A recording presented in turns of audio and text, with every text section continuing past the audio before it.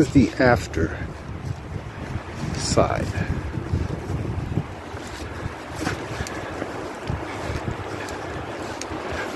Port Angeles Sequim Car Wash Man, Motorhome Wash Man. I'm giving you a before and after. We've already done the roof, and this is the before side.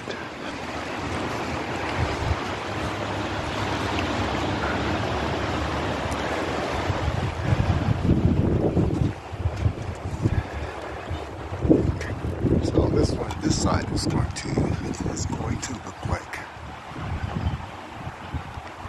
the other side.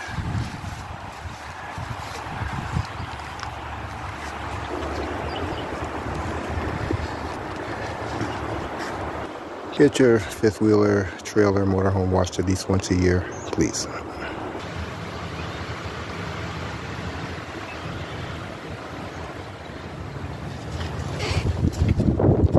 Do full details on cars, motorhomes, SUVs, trucks, boats. Check us out on uh, Google us, Port Angeles Sequim Car Washman, Motorhome Washman. Same for Facebook and YouTube. Have a great day.